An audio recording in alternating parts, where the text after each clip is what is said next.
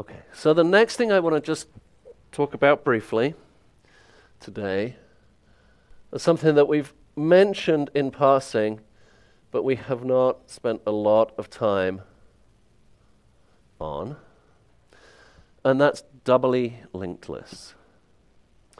So for our linked list, a singly linked list of the kind that you guys have written,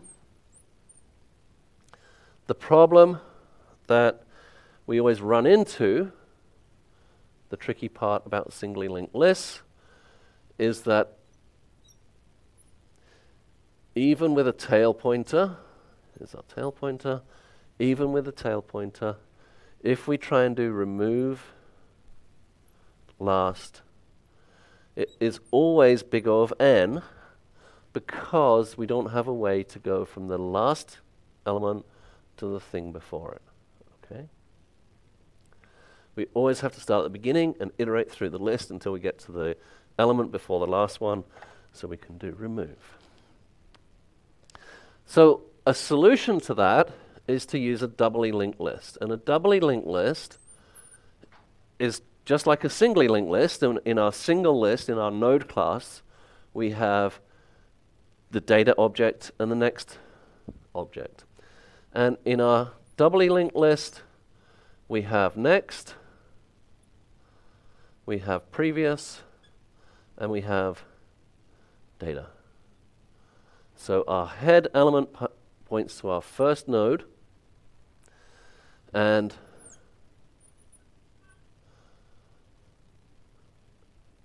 subsequent nodes also have next, previous, and data.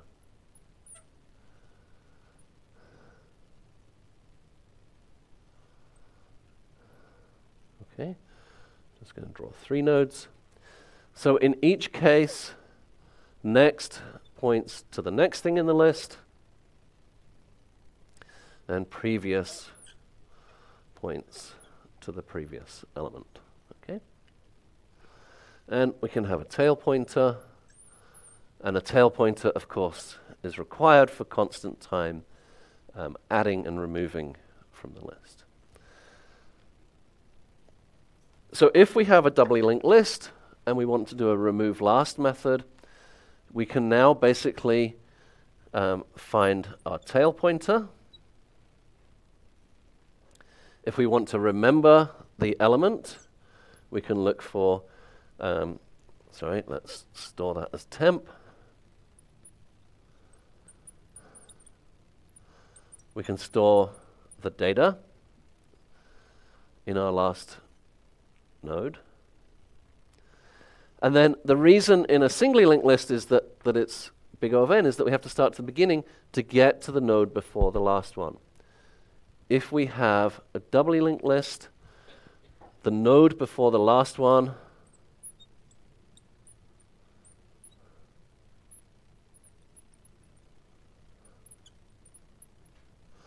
is going to be tail dot previous.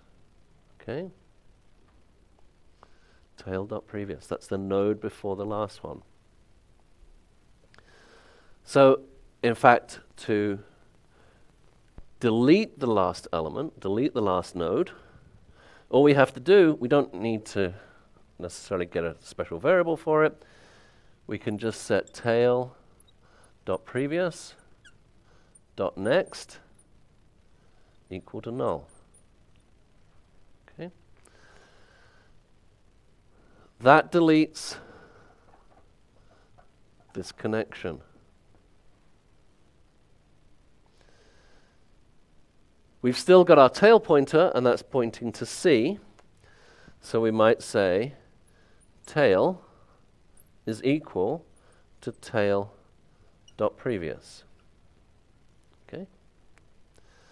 So that moves our tail pointer from pointing to C, deletes that, and it makes it point to the node before C. Okay. Once we've done that, is there anything left pointing at C, at the last node in our list?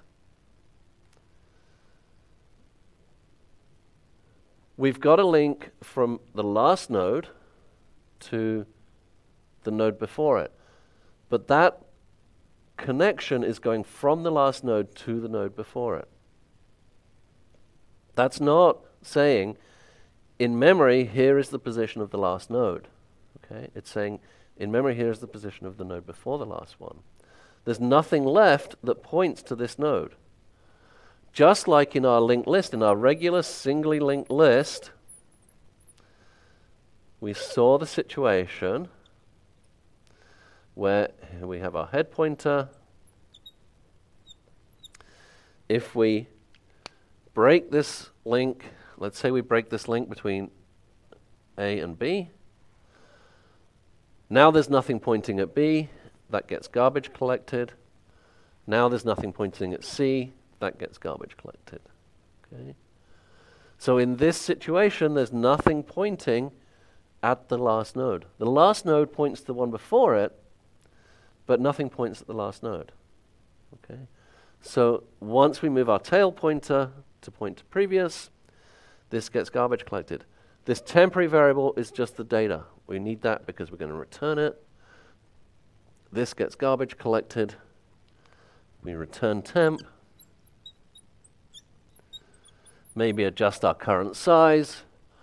Maybe check and see if this is empty, if tail is equal to null, etc., and so on. But that's basically all we need. And this is a constant time remove from the end of a linked list. Okay? So that's the advantage. The advantage is having a doubly linked list is you get constant time removed because you just find the end, the tail pointer, and you find the node before the tail pointer. Let me resurrect my linked list.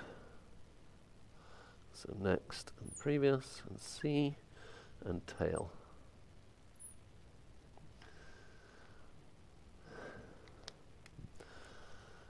So the advantage is that. The disadvantage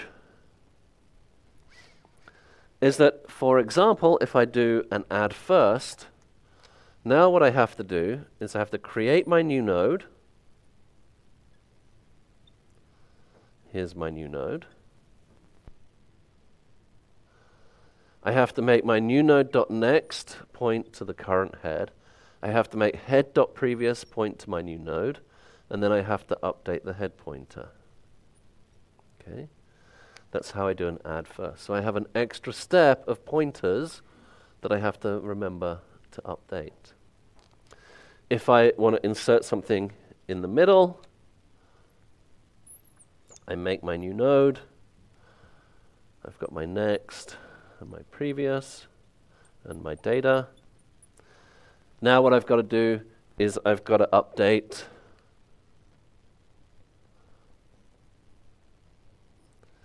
I've got to update the next, the current dot previous to point to my new node. I've got to update new node dot next to point to my next node. I've got to update new node dot previous to point to the one before it. And I've got to make previous dot new node match my new node. Okay. So it becomes a lot more complex to do adding, for example, in the middle of the list or adding at the beginning or adding at the end of the list. So those operations are just much more complex. And the only benefit is that you get constant time removal of the tail of the list. So the reason that I didn't want you to do a doubly linked list for the assignment is because I was trying to spare you the pain of moving all of these next and previous pointers in your add and remove methods. Okay? It's because I'm a nice guy. Really? Yeah. So if you move, if you move this over and you insert one, uh, does that automatically move the next one over, or should we, do you need a code for that? Um, so if you're doing an insertion and add first, Yeah. or okay. So the question was, when you do an add first, does that automatically move everything over? Well, it does automatically. I mean, not automatically. You still have to um, move all the pointers. It does move everything over, but you have to remember to move your previous pointer from head.previous and set your next pointer. But everything else is contained, right? Because this first node, the thing that points to it, is already there, and you don't have to worry about changing that. What you just have to worry about is the two nodes that you're adding. Just like when you add in the middle, you don't have to worry about nodes down here. If we had some more nodes down here, this node lost its data along the way. If I have more nodes down here, just like in our singly linked list, I'm just going to abbreviate next, previous, and data. And previous goes to previous. And next goes to next. D, E, and F. And next here goes to null. And presumably previous here goes to null.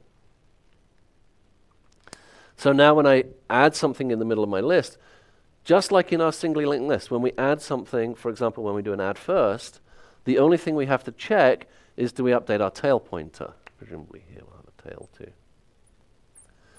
In our singly linked list, when we add something at the beginning, we just have to check if we have a single element list, did we update our tail pointer? We don't have to worry about any of the other nodes. Once we've got two or three nodes, we can add first, add first, add first, add first, without doing any other checks. And the same thing happens here. We only have to worry about the node that we're adding and the nodes on either side. And if those are null, then we have to worry about that. The same five rules apply. Empty list, single element list, working at the beginning, working at the end, working in the middle. The same five things. You have to check those things. Just because you've got a doubly linked list doesn't get you out from checking those things, okay? So it's the same problems.